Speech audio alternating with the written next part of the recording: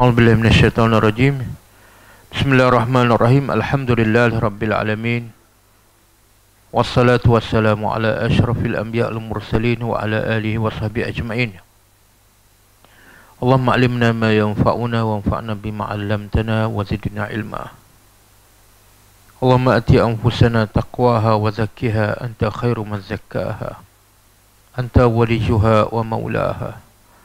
Rabbi yassir wa la tu'assir Rabbi tammi bil khair amma ba'du Okey, sebelum kita sambung Tadabur surah Al-Ma'idah ayat yang ketiga Saya nak bagi sikit pengajaran daripada ayat-ayat yang lepas uh, Pertama, ayat pertamalah Saya ada bagi tak? Belum? Belum, Belum.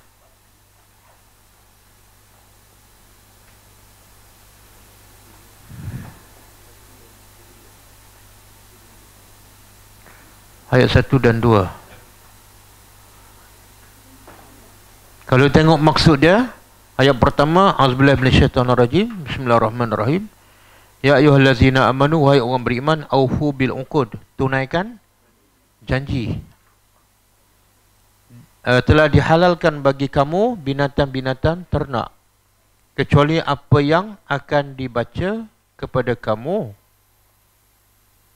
yang bukan bukan binatang beruan ketika kamu dalam ihram. Mana binatang ternak dihalalkan kecuali yang yang akan dibaca. Yang akan dibaca tu mana haram? Mana tu? Ha, ni. Ayat ni, ayat tiga ni yang akan dibaca yang haram. Kemudian sesungguhnya Allah menghukum apa yang dia kehendaki ke pengajaran dia.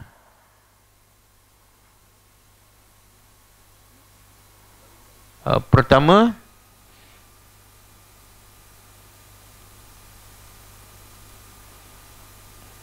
Apabila Allah menyebut wahai orang beriman di dalam Al-Quran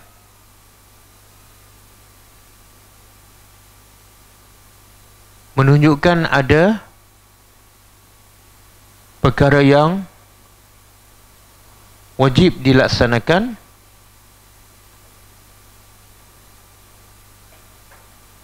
atau wajib ditinggalkan?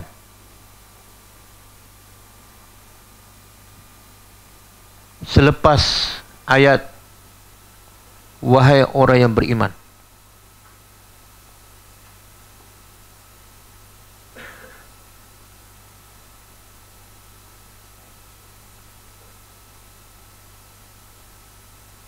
Yang kedua wajib menunaikan janji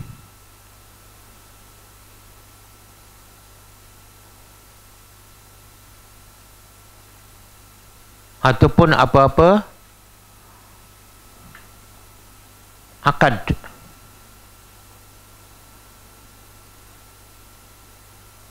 Seperti akad nikah jual beli.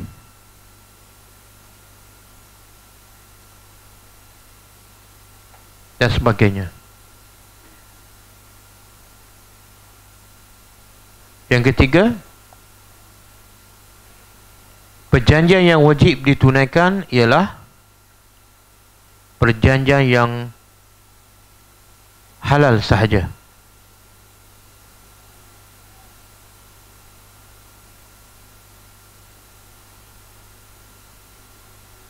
Adapun perjanjian yang haram maka haram dilaksanakan.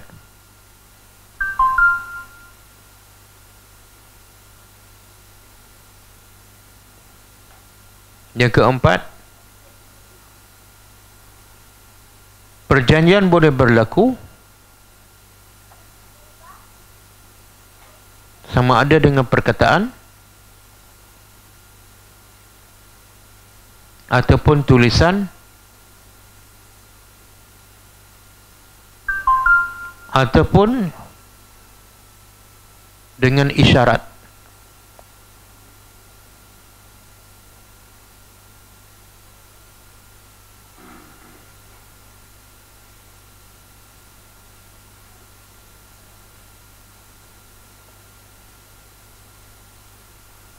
Harga perjanjian melalui dengan apa? Online kan?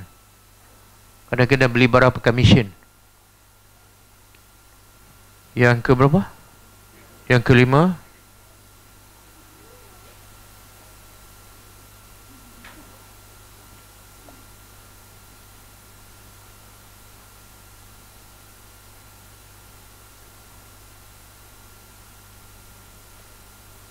Semua jenis binatang ternak adalah halal.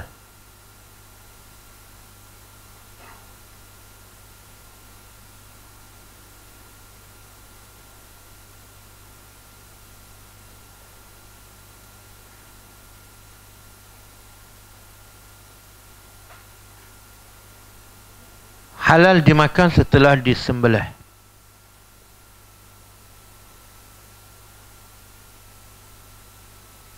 Dengan menyebut nama Allah.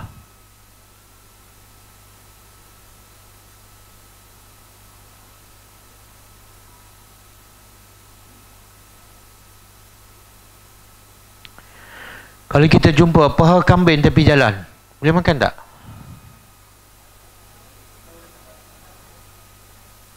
Tak tahu apa?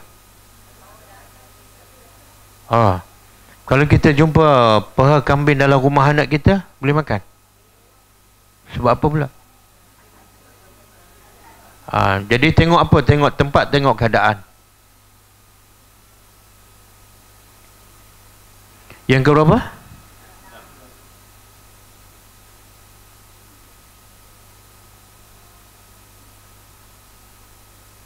uh, haram memburu binatang beruan haram memburu binatang buruan ketika di dalam ihram.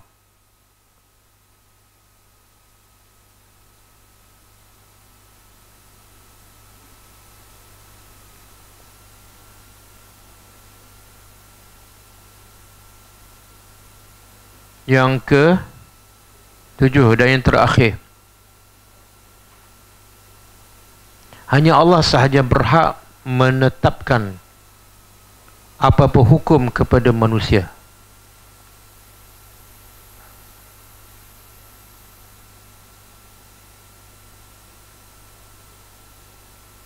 Dan haram bagi manusia mereka-reka hukum yang baru.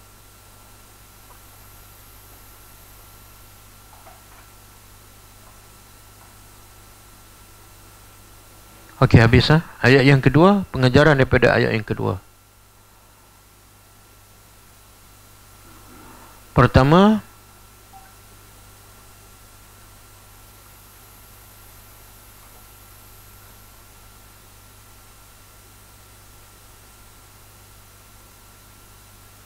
Wajib membesarkan syiar-syiar Allah.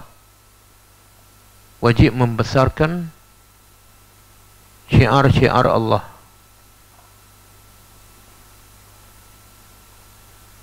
dan haram. Dan haram mengubah syiar Allah. Syiar Allah tahu kan?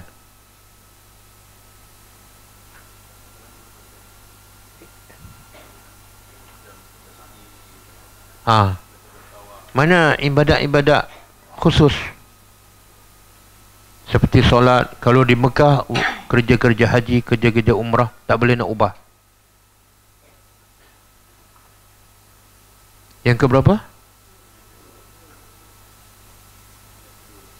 Haram. Uh, Berperang Dan melakukan maksiat Di bulan haram.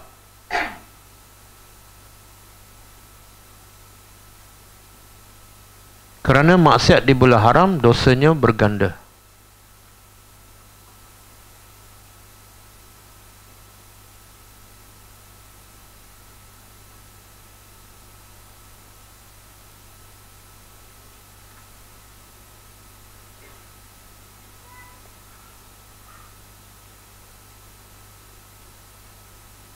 Yang ke tiga, wajib memuliakan para jemaah haji dan umrah. Wajib memuliakan para jemaah haji dan umrah.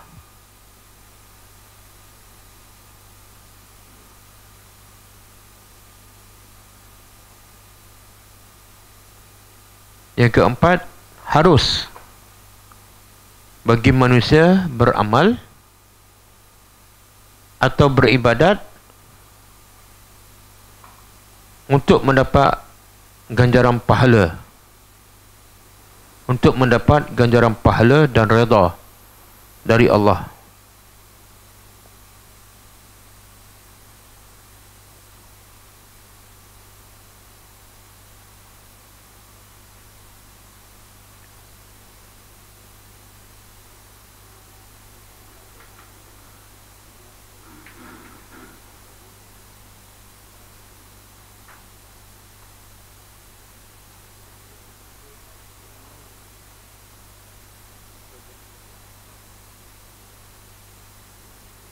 Yang ke lima uh, Haram seseorang Menceroboh.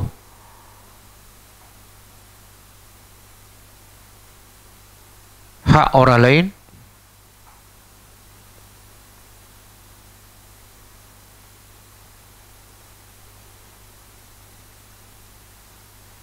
Ataupun Atau melampau Lebih daripada sepatutnya.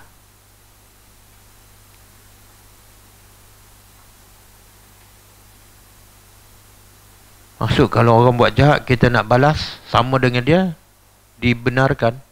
Tapi kalau buat lebih pada tu haram. Dan maaf itu lebih lebih baik.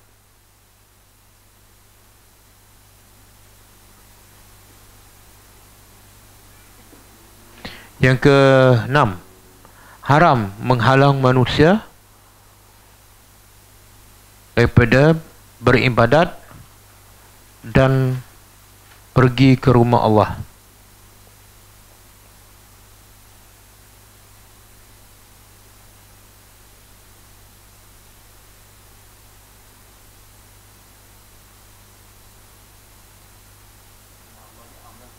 Ha, umum Walaupun ayat ni lebih kepada masjid haram Tapi sebenarnya Mana-mana rumah Allah. Kita tak bagi anak kita pergi masjid kan? Tanpa alas saya munasabah Pun haram. Kadang-kadang kita tak bagi Tapi kita penyebab anak tak pergi Pun berdosa. Kenapa tak pergi? Orang tanya anak Bapak aku tak pergi? Jadi penyebab anak tak pergi Bapak. Okey, yang keberapa ni? Yang ketujuh, wajib tolong menolong dalam perkara kebaikan.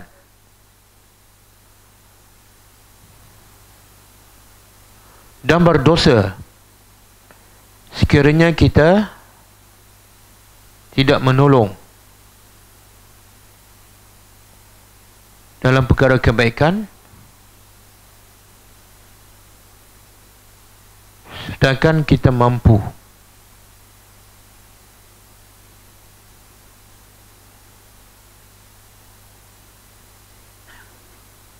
Yang ke-8 Haram Tolong menolong dalam perkara Dosa dan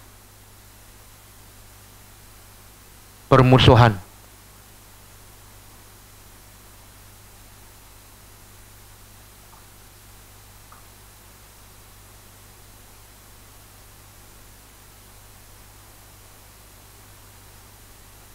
Termasuk menunjuk jalan termasuk menunjuk jalan maksiat. Mana pesta malam ni? Ha, kita kata kat situ. Itu termasuk tolong-menolong dalam benda yang tak baik. Kalau orang nak tengok bola nak pergi stadium. Orang tanya mana stadium? Kita pun tunjuk. Dapat saham tak Dapat saham baik ke saham tak baik? Ha? Tengok bola tu tak baik ke? Hmm? Dia solat. Orang pergi kelab malam pun solat. Tak, saya tak kata haram. Cuma saya tanya, kalau tunjuk ke tempat macam tu, dapat dosa ke dapat pahala?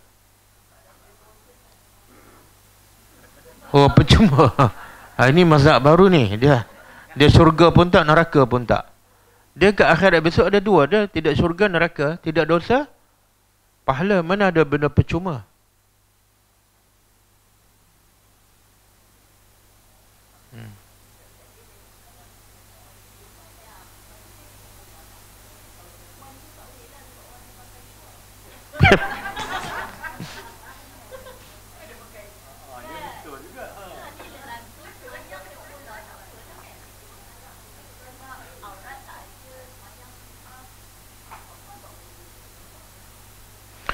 Oh, yang perempuan tak boleh tu sebab tengok aurat lelaki.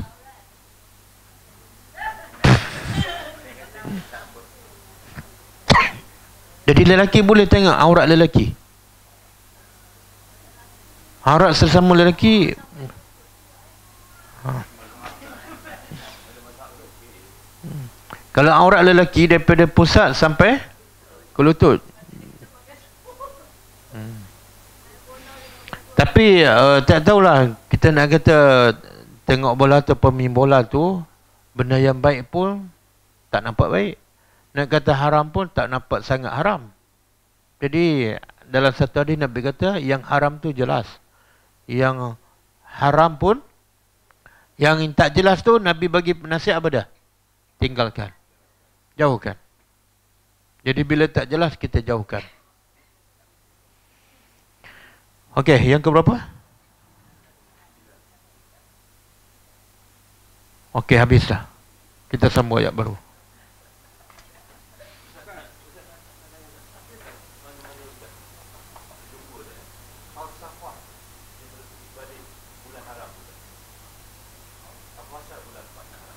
Apa hikmah dia? Wallahualam, saya tak jumpa. Dalam Quran pun tak sebut. Apa sebab?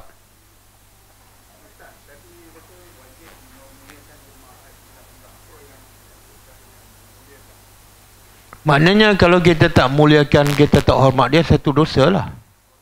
Ha, hormat, tolong dia.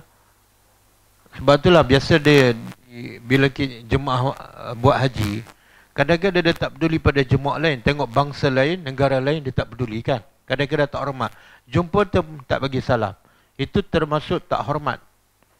Patut kita hormat ialah semua bangsa, semua daripada negara mana pun, kita bagi salam, kita hormat. Hmm? Tengok keperluan lah. Ha. Tengok keperluan. Kalau perlu hantar, hantarlah. Kalau tak perlu, tak payah.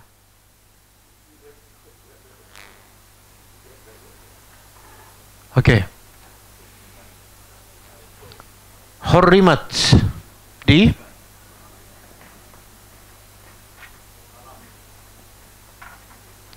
Diharamkan alaikum. Ke atas kamu. Di sini Allah sebut diharamkan. Allah tak sebut siapa yang mengharamkan. Tapi dalam ayat Allah kata wa ahallallahu ar-riba wa ahallallahu ar-riba. Uh, wa ahallallahu al-bay' al-bay' wa harrama ar-riba.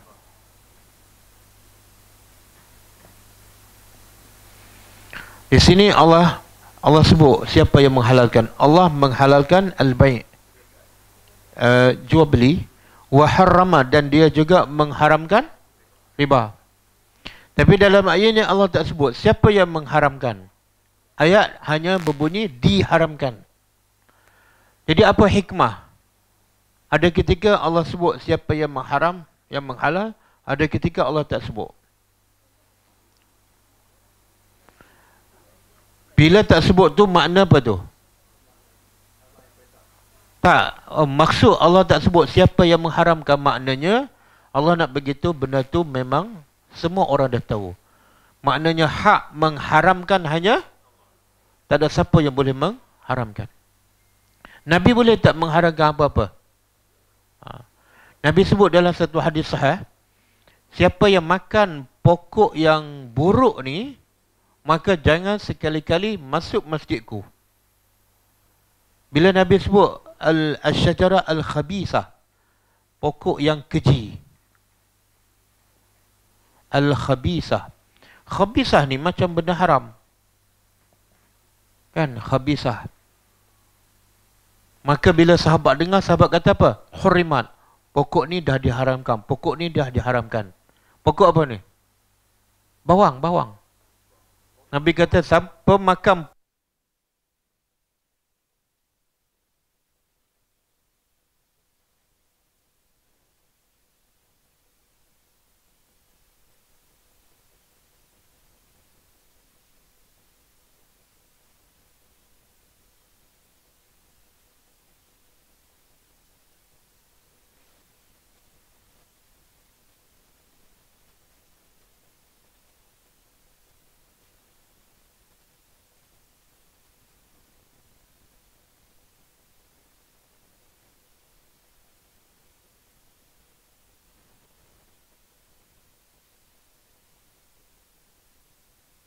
halal. Ada tak berlaku dalam masyarakat kita? Nah, contoh apa dia? Tak boleh tak boleh musafir hari Jumaat. Itu kita mengharamkan benda yang halal. Tak boleh apa lagi? Perempuan haid tak boleh pergi ke?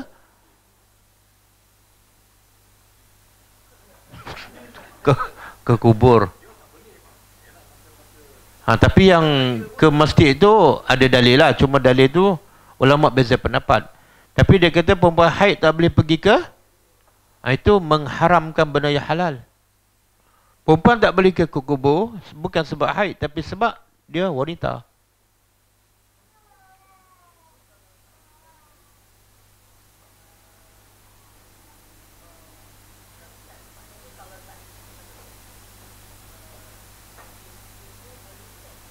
Wanita yang uzur. Wanita yang uzur ulama beza pendapat. Kalau ikut mazhab Syafi'i tak boleh masuk. Wanita uzur tak boleh masuk masjid. Kecuali nak lalu. Itu ada dalil pada Quran. Kalau nak melalui saja, melintas saja boleh. Tapi ada pendapat mengatakan wanita uzur boleh dengan syarat dia menjaga kebersihan. Okey, diharamkan ke atas kamu al-maitah. Bangkai. Hmm? Tengok keperluan lah. Kalau kita uzur, tapi kita perlu belajar agama. Kalau tak pergi, agama kita tak sempurna, maka pergilah.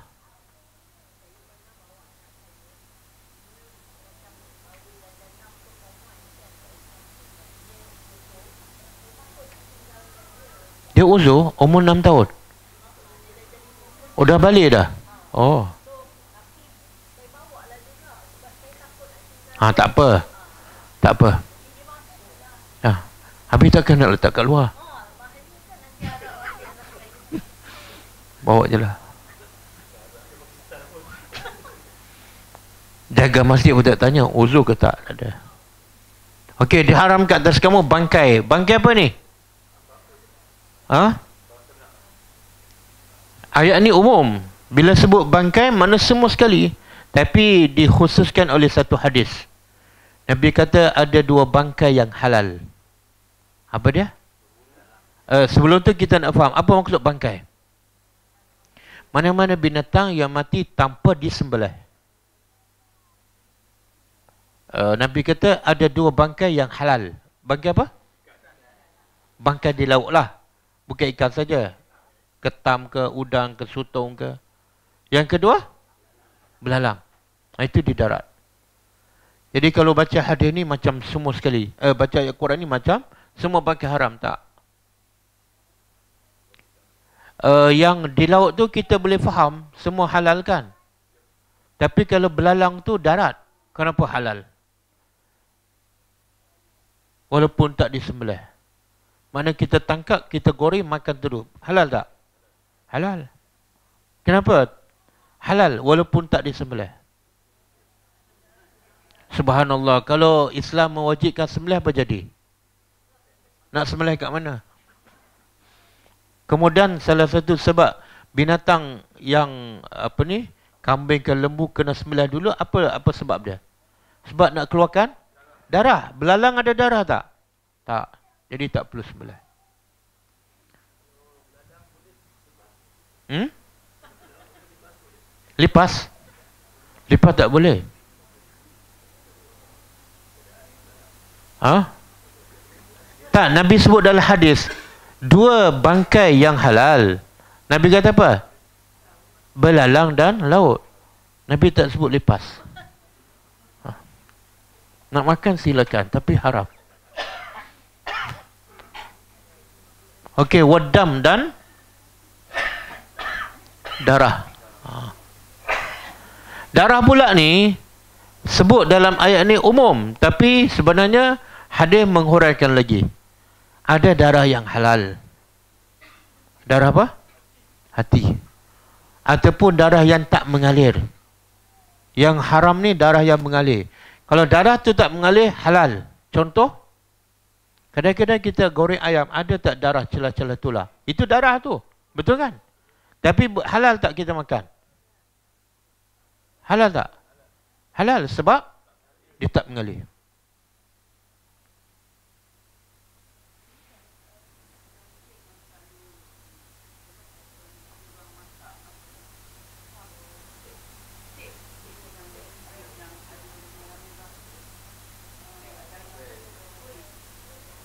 Eh okey.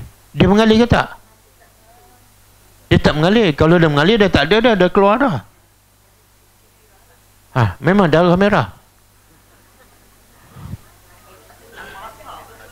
Tak apa, tak apa, tak apa.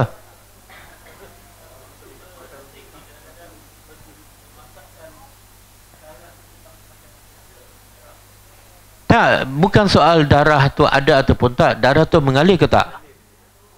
Yang Nabi kata yang haram ni darah yang mengalir. Dam al-masfuh. Sebab itulah disyariatkan sembelih. Kenapa? Nak buang darah yang mengalir tu. Ada pun yang tak mengalir. Tak kalah nak korek buang, nak nak basuh apa semua. Sah. Okey. Dua. Yang ketiga. Walahmu khinzir. Khinzir ni apa makna? Babi ke balik baya? Aku Melayu warak sikit. Dia segan nak sebut babi. Dia pun tiba-tiba pandai jawi. Balik baya. Daging babi. Okey. Ayat ni sebut lahmu daging. Lemak babi haram tak? Lemak-lemak. Ha? Apa dalil? Allah sebut daging lahmu. Kalau kalau lemak syahmu.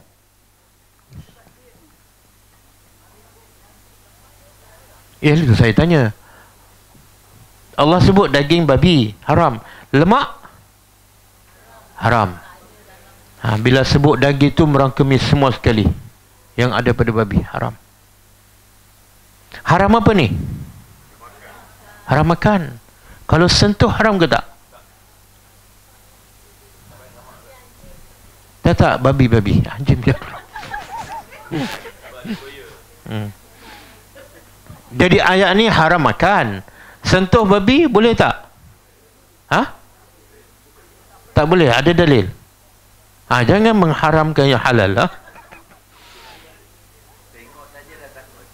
Tak, itu soal lain. Bila kita kata haram sentuh daging babi, kena bawa dalil. Sebab yang boleh mengharamkan Allah saja. Kadang-kadang bini kita garang tapi berani tak sentuh.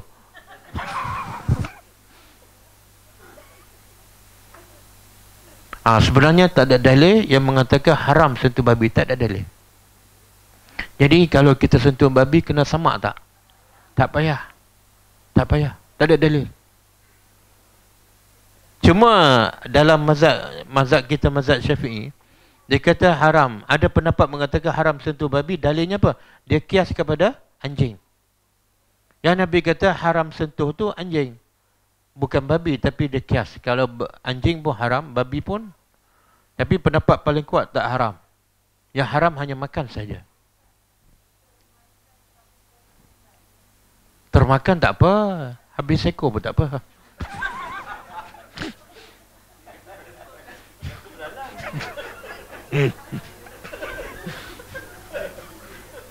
Dalam Islam kalau ter semua tak apa.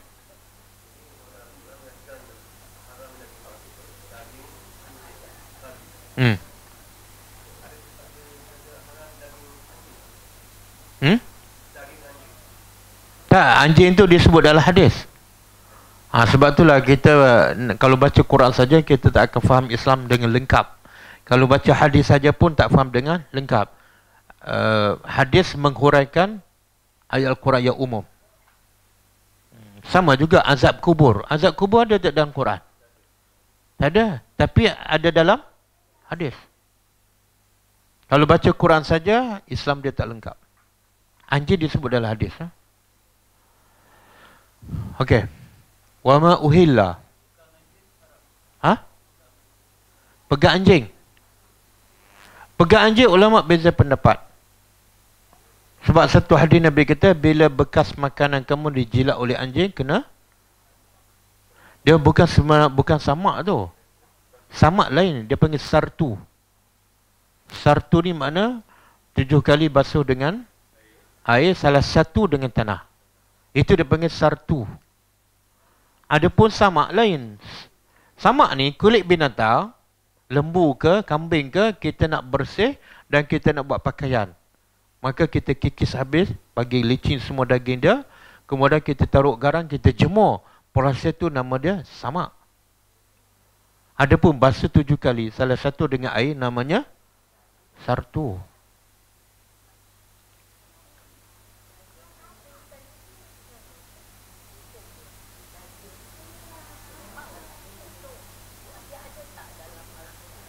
Tak ada dalam hadis Nabi kata semua binatang yang bertaring dan yang berkuku haram. Kalau bertaring tu yang kat darat lah.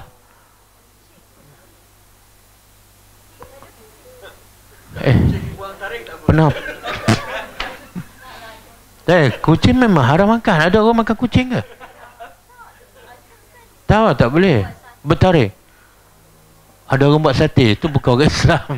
Bukan orang Islam. Semua yang bertaring, anjing termasuk tak? Buaya termasuk. Kalau yang berkuku apa dah? Buruh helang. Ha. Sebab tu Allah jadikan makanan yang halal pada kita, tak ada taring dan tak ada kuku. Macam lembu. Kalau lembu bertaring apa jadi? Kita tak sebab makan dia, dia makan kita. Okey? Jadi tulang babi pun sama. Bila sebut daging tu, semua sekali. Wama uhilla dan apa yang uhilla. Uhilla disebut dengan kuat. Uhilla makna dia disebut dengan kuat. Maksud apa ni? Apa yang disebut li ghairillah selain ha, nama Allah. Sebab itulah binatang yang halal tapi boleh jadi haram dimakan. Bila tu? Bila tak sebut nama Allah. Dengan hanya berkata bismillah dia boleh menghalal dan boleh mengharamkan makanan tu.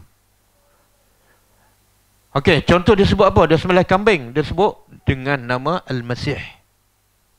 Ataupun dengan dengan nama Jibril, haram dia makan jadi bangkai ataupun dia korban unta dengan nama Nabi Muhammad haram bangkai. Boleh. Ini maksud. Apa saja yang dia sebut selain daripada nama Allah. Ha, dengannya. Wal munkhaniqah dan yang binatang mati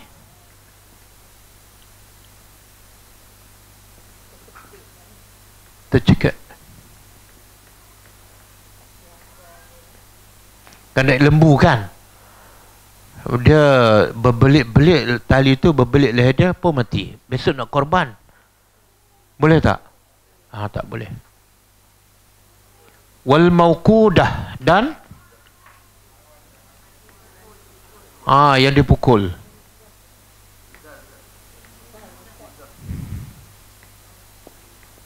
maukuzah yang dipukul. Dia geram sangat dia pukul kambing dia sebab degil kan. Besok nak korban. Lepas tu mati. Lembek tu besok masa nak korban tu pukul 8 nak korban 7.50 mati. Boleh makan? Tak boleh. Wal mutaraddiyatu dan binatang yang ah, terjatuh. Terjatuh ni dua. Satu jatuh daripada tempat tinggi. Kadang-kadang lembu dia panjat tingkat tiga.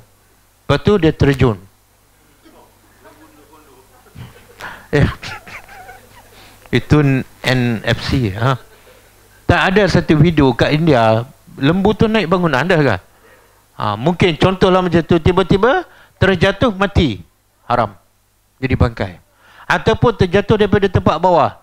Dia pergi kat telaga, jatuh dalam perigi, mati. Jadi bangkai. Eh? Haram. Wan natihah dan natihah apa dia? Ah dia bergaduh sama-sama dia. Kambing sama kambing, seorang kena tanduk berdarah, belum sempat kita sembelih mati. Maka bangkai. Haram. Dia terjemah apa tu? Ah. Yang mati ditanduk.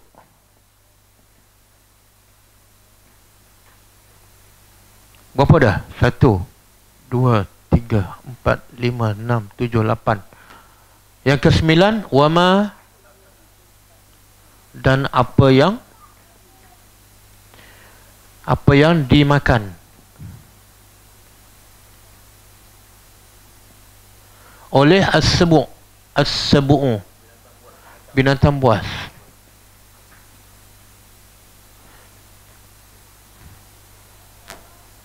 Uh, kita ada kambing. Kambing dimakan oleh harimau. Mati. Maka kambing itu tak boleh makan. Illa kecuali. Kecuali mazakaitum apa yang? Apa yang sempat kamu sembelih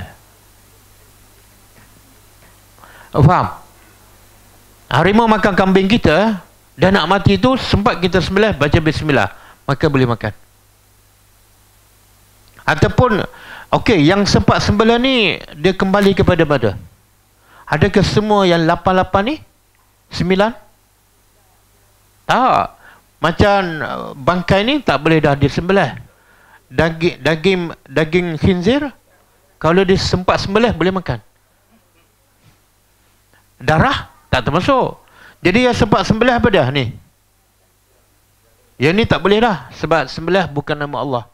Yang mati tercekik dah tercekik kan ada sikit lagi kita sempat sembelih satu minit boleh makan ataupun yang dipukul yang terjatuh yang ditanduk ataupun dimakan binatang buas serigala makan ayam kita kan kita kejar ayam tu dah nak mati tapi sempat sembelih boleh makan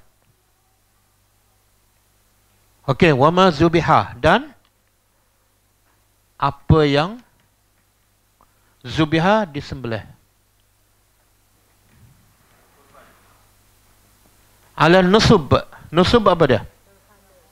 Berhala. Cuba buka surah Al-Ma'arij ayat 42.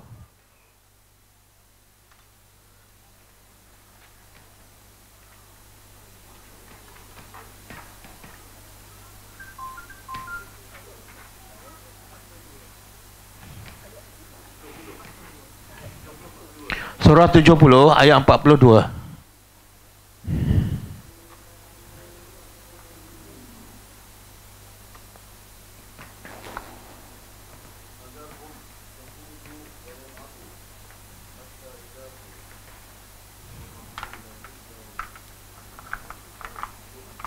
Lepas tu? Ha, ayat 43. Lepas tu? Ha, yauma yauma yakhrujuna minal ajdasi?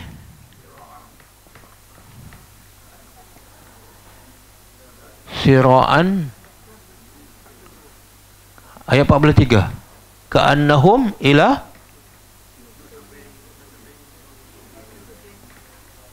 Nusubin yu?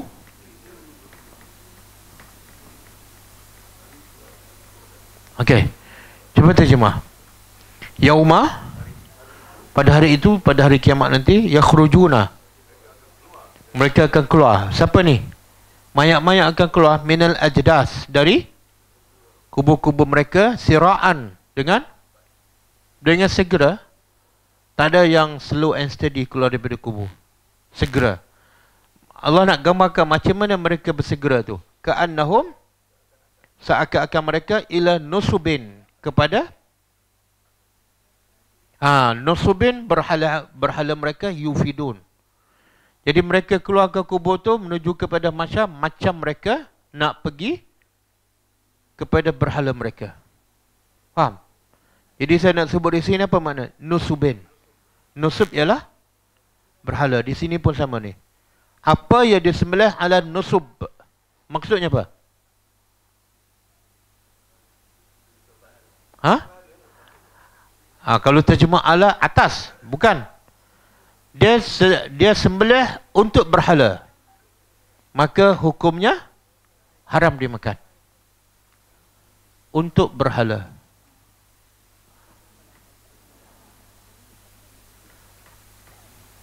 Yang ni haram ni sebab apa? Sebab perbuatan ke sebab apa? Ha? Tak sebab perbuatan ke sebab perkataan? Sebab niat. Kadang-kadang berhala tak ada kat situ. Dia sembelih kat rumah tapi niat untuk ha, niat tu menjadikan binatang tu bangkai. Yang atas ni, yang atas ni sebab apa? dia sembelih bukan uh, tak sebut nama Allah itu perkataan ke niat ke ha perbuatan ataupun perkataan sebut nama bukan nama Allah haram yang ni dia sembah dia sembelih untuk berhala. Tapi sebut nama Allah. Bismillah. Tapi niat untuk berhala pun haram. Kan? Ada tak orang Melayu? Kadang-kadang dia sembelih ayam untuk apa? Untuk berubat itu jadi syirik. Dan ayam tu haram dimakan. Kenapa sembelih ayam? Tok Bomo suruh sembelih. Kalau tak tak hilang penyakit, ha, ayam tu jadi bangkai. Okey, apa lagi yang haram? Wa an tastaqsimu dan bahawa tastaqsimu apa dia? Kamu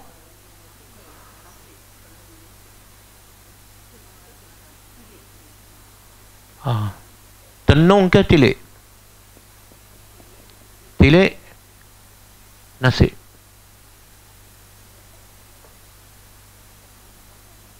Bil azlam, azlam ni anak panah dengan dengan anak-anak panah. Apa maksud dia? Tilik nasib. Apa maksud dia? Ha, dia orang-orang jahilah ni Dia nak tengok keadaan tu baik ataupun tak Contohlah Dia ambil kertas, dia tulis Buat Satu lagi kertas, dia tulis Jangan buat Satu lagi kertas, dia tak tulis apa-apa. Kemudian dia letak dalam bekas Kemudian Dia gaul, dia ambil. Bila ambil kertas tu kosong, dia undi lagi. Bila keluar, buat dia baru buat benda tu. Itu dipanggil tastaqsimu bil azlam. Kadang-kadang dia guna azlam ni anak panah. Ha, dia ikat anak panah jalan. Yang ni anak panah jangan jalan. Satu lagi anak panah kosong. Dia pun panah bila panah tu kalau dia ambil anak panah dia panah tengok-tengok jalan baru dia buat itu hukumnya haram dan syirik orang Melayu ada tak Ha, tengok cuaca.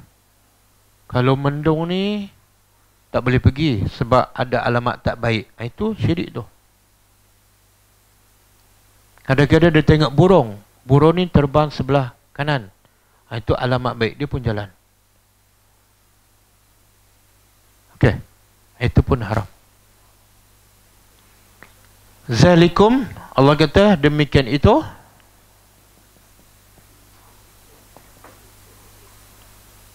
fasik apa mana fasik uh, perbuatan dosa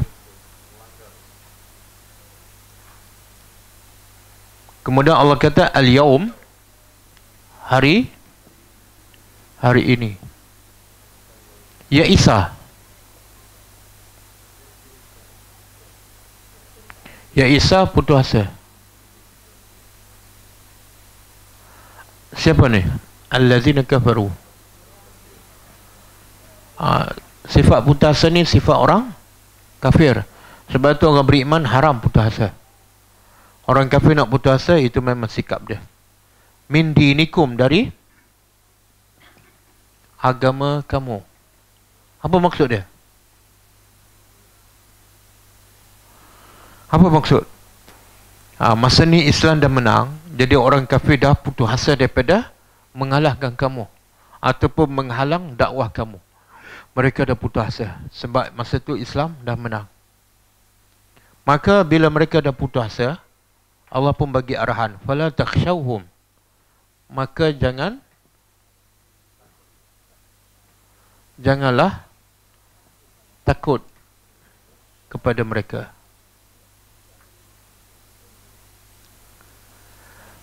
Wakhshawni dan takutlah kepada kepadaku. Kenapa Allah larang jangan takut mereka dulu baru takut aku? Logiknya Allah kata takutlah pada aku, jangan takut pada mereka. Kenapa?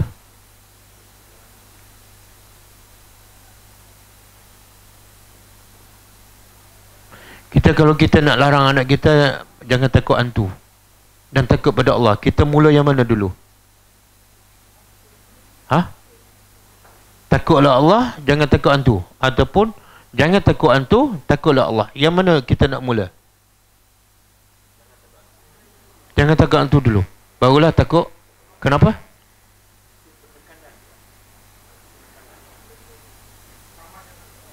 Hmm?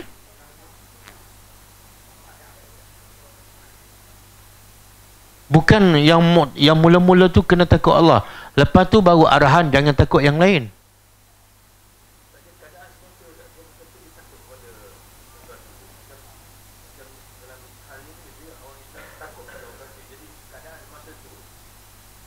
Tapi samalah kalau kita perintah takutlah pada Allah dulu kan. Lepas tu jangan takut pada orang lain pun sama kan? Tak sama. Macam mana tak sama?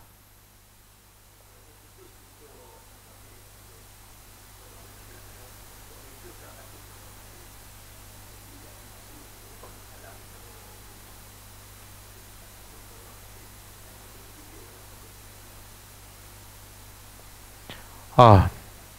Macam ni. Dia macam mana kita nak betul-betul dapat takut pada Allah. Yang betul-betul takut dan dia tak mungkin takut pada yang lain pada Allah. Macam mana nak dapat tu?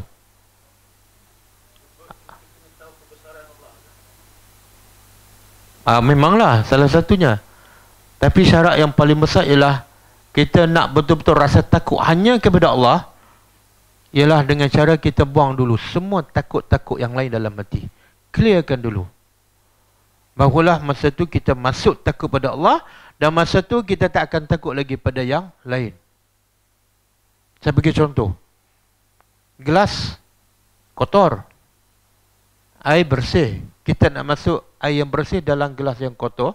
Tapi dalam keadaan air itu pasti juga bersih. Macam mana cara? Ha, buang dulu. Buang dulu yang kotor-kotor. Boleh faham? Tapi kalau gelas kotor, masuk air bersih apa jadi dengan air? Subhanallah. Dalam hati kita takut hantu, takut orang, takut tu tiba-tiba masa tu juga nak takut pada Allah. Ada nilai tak takut pada Allah? Tak ada nilai. Sebab itulah kita ni kita ni sebenar dalam kehidupan kita banyak kita takut pada orang ke takut pada Allah? Cuba tanya muhasabah diri kita. Ha? Banyak takut pada orang. Kadang-kadang orang suruh Allah suruh. Kita buat orang dulu. Kadang-kadang masuk waktu kita leka dulu dengan urusan orang. Betul? Sebab apa? Dalam hati kita ada lagi takut-takut yang lain. Takut orang, takut rezeki, takut kena pecat, takut tak boleh makan, takut anak tak boleh masuk universiti. Kan kadang-kadang nak cari kabel nak anak masuk universiti waktu solat. Kawan tu kata jumpa saya waktu zuhur. Kita biasa solat Jumaat. Tapi sebab kita takut permohonan anak kita ditolak, kita pergi juga waktu solat. Mana apa tu? Ha. Sebab tu Allah kata, buang dulu. Semua takut pada manusia, barulah takut pada aku. Okey. Al-yawma, hari ini. Hari ini ni bila ni? Ha, hari turun ayat ni bila? Sini surah ni surah Madaniyah. Tapi ada ayatnya turun di ha, ayat ni. Al-yawma akmaltu lahu akmaltu lakum dinakum. Ayat ni turun di Mekah. Bila? Ha, masa Nabi tengah wukuf. Ada pendapat mengatakan hari Jumaat. Hari Jumaat Nabi tengah wukuf turun ayat ni. Makna tu dah berapa tahun Nabi dah berdakwah? Ha, hampir-hampir habis. Sebab tu Allah kata hari ini akmal tu aku nak terjemah apa? Sempurnakan untuk kamu dinakum agama kamu.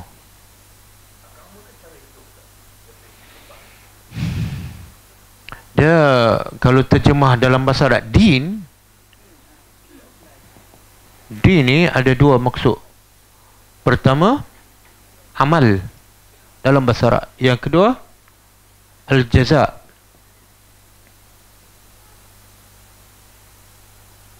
Okey, din makna jaza balasan. Contoh maliki Malik yang menguasai hari ad-din, hari pembalasan. Itu din makna pembalasan. Yang kedua, din bermakna amal. Contoh, lakum dinukum. Apa maksud dia? Lakum dinukum. Bagi kamu, amalan kamu. Bagi aku, ha. Jadi kalau nak terjemah dia dalam masyarakat sebenar amalan. Cara hidup pun betul lah. Boleh?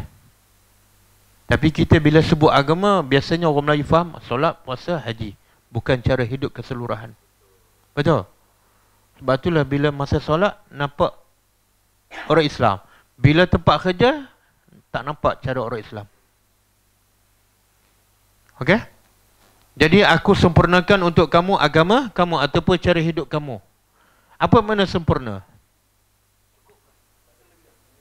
Lengkaplah. Bila mana dah lengkap, perlu tak ditambah? Ha, yang tambah tu jadi bid'ah.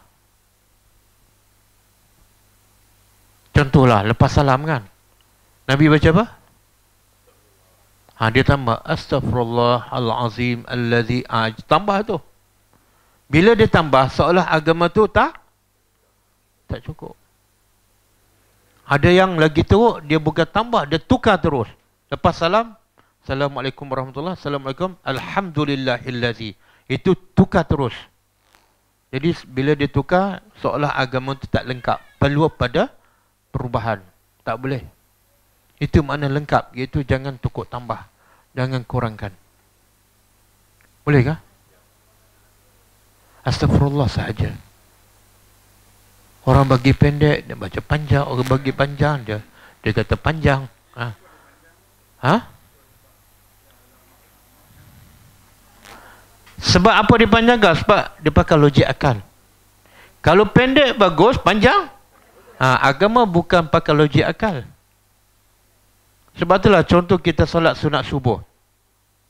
Rekat pertama lepas fatihah, Nabi baca apa? Al-Kafirun. Rekat kedua lepas fatihah. Tapi dia rasa fatihah. Oh, Kulhu Allah pendeknya, dia pun baca surah Baqarah. Sebab apa? Satu huruf dia pakai logik akal. Satu huruf sepuluh pahala. Kalau Al-Ikhlas pendek, surah Baqarah panjang. Jadi bid'ah.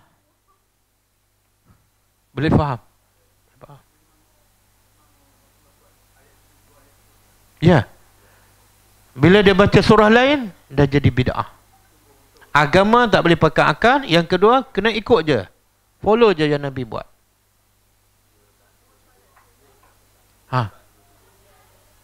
Ha, tapi salat subuh Nak baca surah apa? Silakan. Dan kalau ikut sunnah Nabi, 60 ayat sampai 100 ayat. Setiap rakaat. Ha, tak nak ikut pula. Ha, itulah orang Melayu. Yang pendek, dia nak panjang. Yang panjang, Allah panjangnya. Dia pendek pula. Ikut cara dia. Benda simple je. Benda simple je. Apa dia? Saya bagi contoh. Lepas salat, dia sapu muka. Simple je. Nabi tak sapu. Kenapa nak sapu?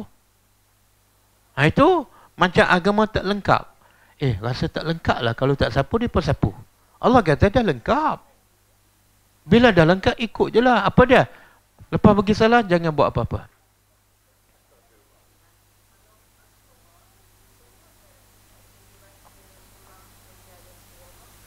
Tak, yang semua baca kuliah tu kita. Yelah, Nabi tak. Nabi baca kuliah dengan kuliah Allah solat sunat subuh uh,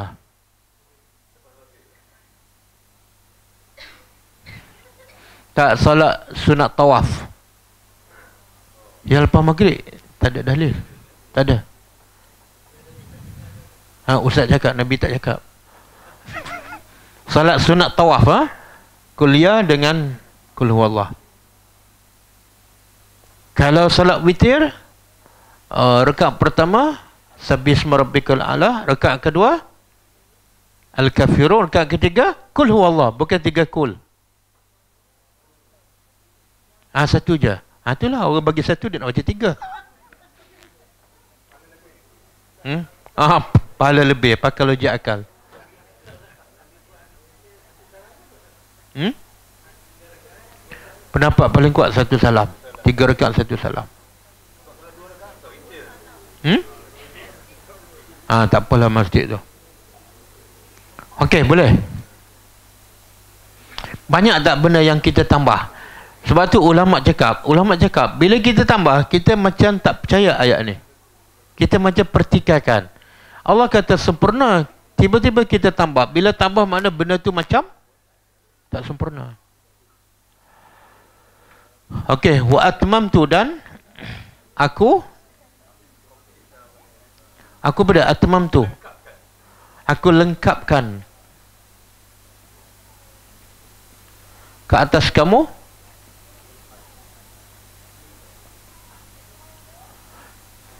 nikmati nikmatku apa nikmat apa yang Allah lengkapkan nikmat apa ni hmm? tak dalam konteks ayat ni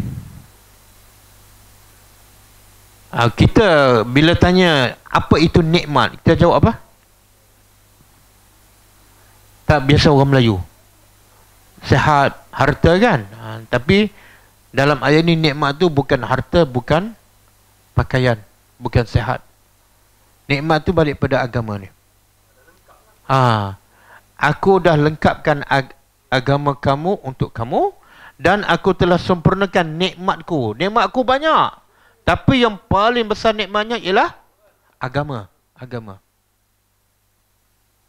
Lepas tu bila kita dapat agama tu, itulah nikmat yang paling besar. Okey.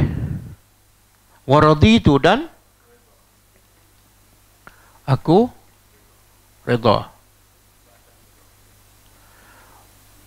Uh, aku reda untuk kamu al-Islam Islam sebagai din sebagai din sebagai amalan ataupun cara hidup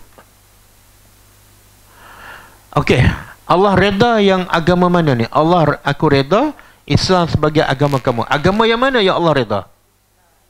Ha? Agama yang mana? Ini, ini, ini. ini. Yang aku dah lengkapkan.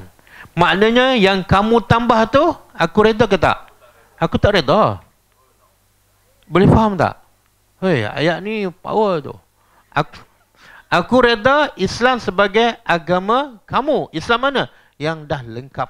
Bila kamu tambah, aku tak reda. Yelah, eh, bila Allah tak reda, makna apa tu? Berdosa lah. Dia reda lawan dia, jauh daripada rahmat Allah. Jangan tambah. Jangan tambah.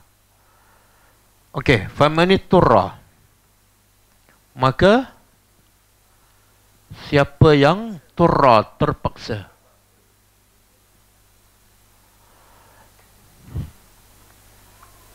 Fi makhmasatin.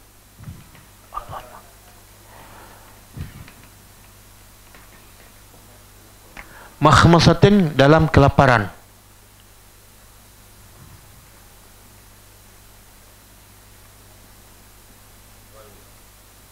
ghaira bukan ataupun tidak mutajanif condong condong ataupun cenderung li ismin untuk untuk melakukan dosa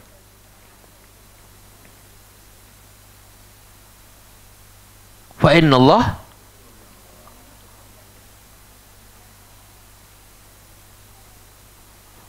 Ghafur Maha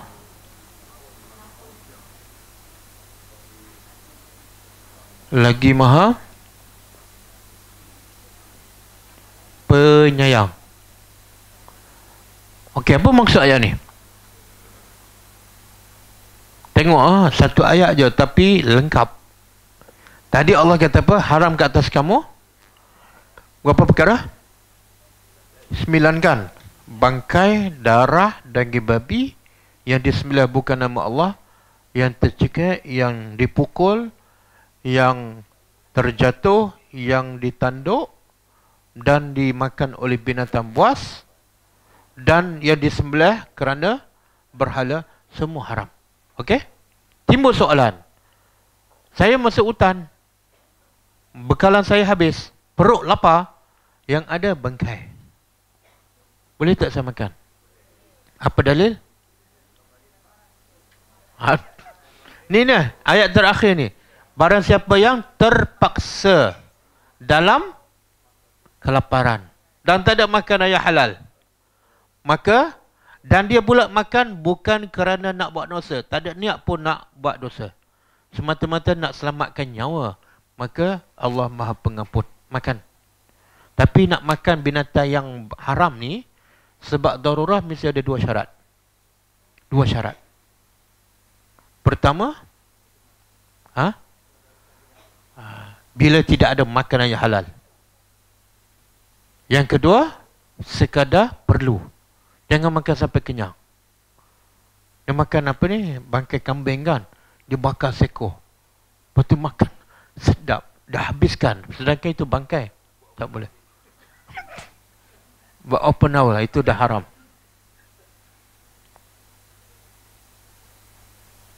Boleh? Tengok nampak tak rahmat Allah?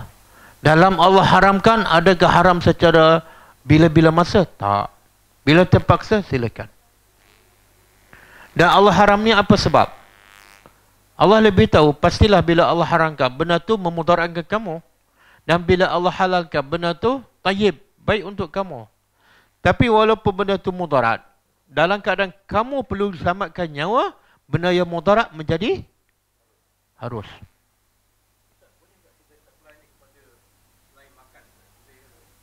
Boleh? Contohlah, contoh. Kita lekat tulang kat kat sini kan. Makanan tak ada, air pun tak ada. Yang ada arak.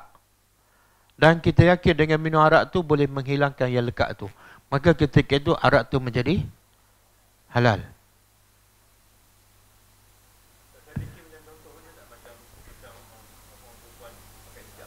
Hmm. Hmm. Tak, itu bukan darurah. Itu dia panggil cari penyakit. Sebab dia pergi itu bukan satu keperluan. Betul tak? Darurah ni, ya contoh apa dia keperluan?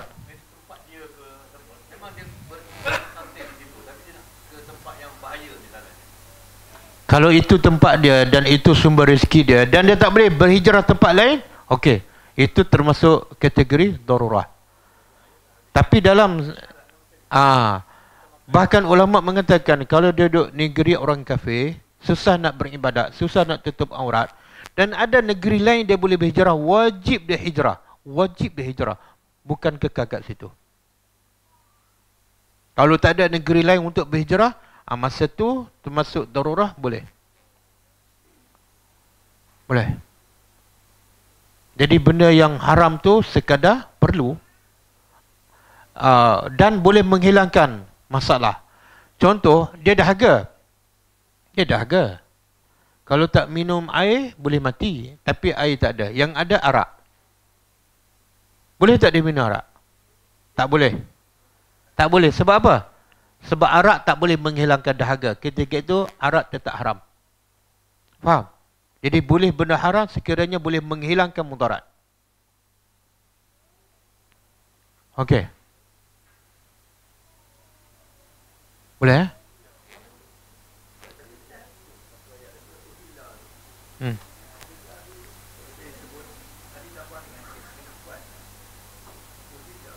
Ha?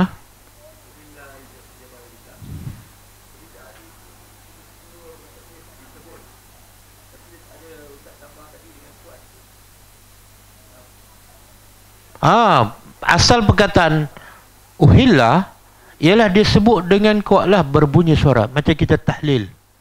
Kan kita sebut la ilaha illallah. Tapi maksud ayat itu sebenarnya ialah bila kita sembelih sebut dengan kuat bismillah. Ah, tak boleh uh, sebut bibir bergerak tapi tak bunyi suara, tak boleh. Ya, dengan lafaz. Tak boleh.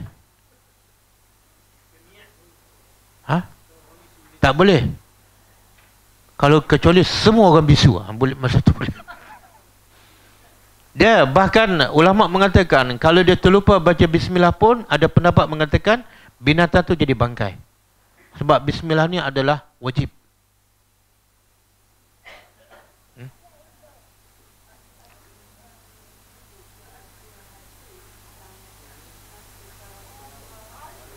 sallallahu alaihi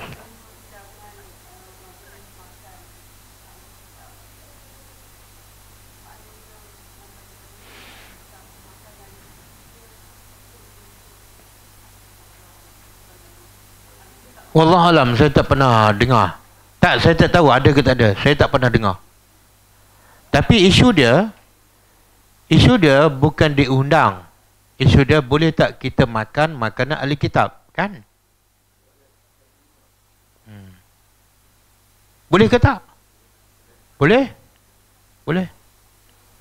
Jadi kalau ahli kitab undang dan makanan ahli kitab boleh makan, boleh tak kita makan? Boleh lah. Sebab isu dia bukan siapa yang masak. Isu dia ialah makanan tu halal ataupun haram.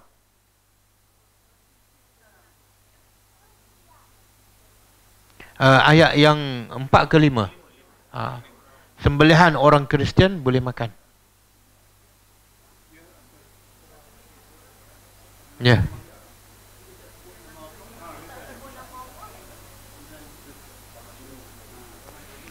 Subhanallah. Siapa yang cakap sembelihan orang Kristian ahli kitab boleh makan? Siapa cakap? Ah, boleh lah. Sebab apa Allah kata boleh? Sebab biasanya ahli kitab dia pegang pada kitab dia, iaitu biasa dia sembelih dia sebut nama Allah. Sebab itulah Aisyah satu masa dia bawa uh, makanan daripada ahli kitab. Dia pun tanya Rasulullah, Ya Rasulullah ini makanan daging daripada ahli kitab.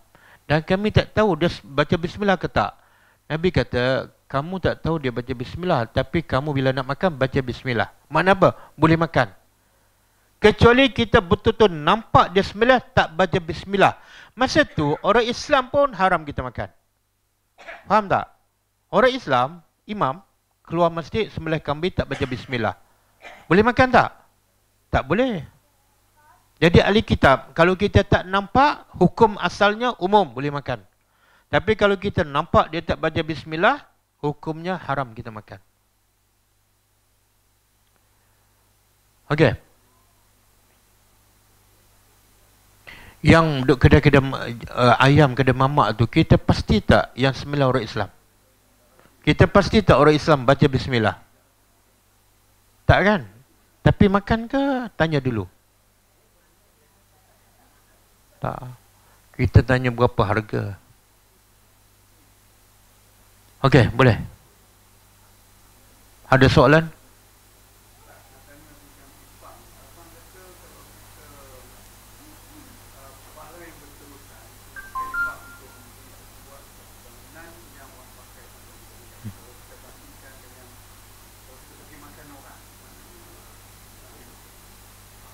Tak, dia sebenar yang Nabi kata bila mati anak Adam terputus amalannya kecuali tiga. Salah satu, sedekah jariah. Sedekah jariah ni ialah eh, kita buat sedekah yang dilakukan oleh orang tu, orang tu guna benda tu sampai bila-bila. Itu dipanggil sedekah jariah.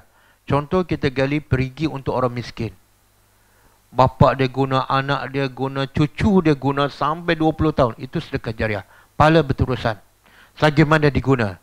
Ataupun kita sedekah untuk bina masjid. Bagaimana orang solat, seramai mana orang solat di masjid itu, banyak itulah kita dapat pahala. Walaupun kita telah mati. Tapi bila kita bagi makan, itu bukan termasuk sedekah jariah. Itu lamsam. Pahala sedekah sekali je. Hmm?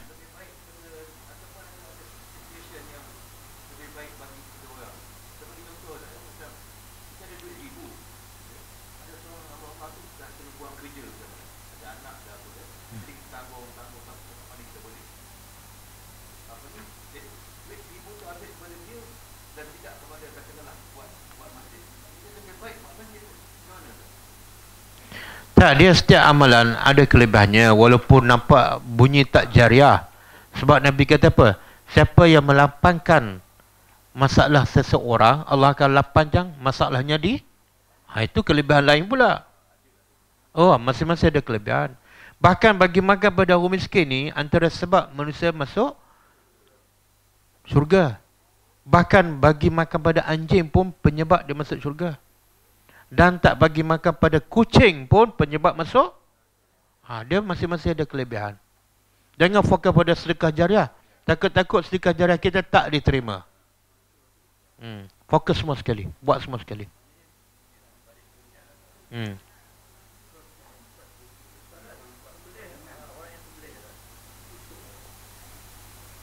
tak syarat dia baca bismillah aja.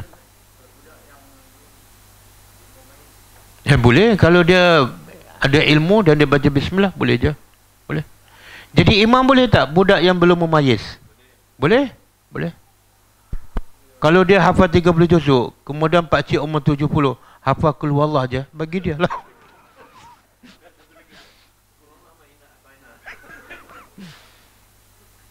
Itu ada zaman Nabi, budak umur 6 tahun jadi imam kepada sahabat yang dewasa.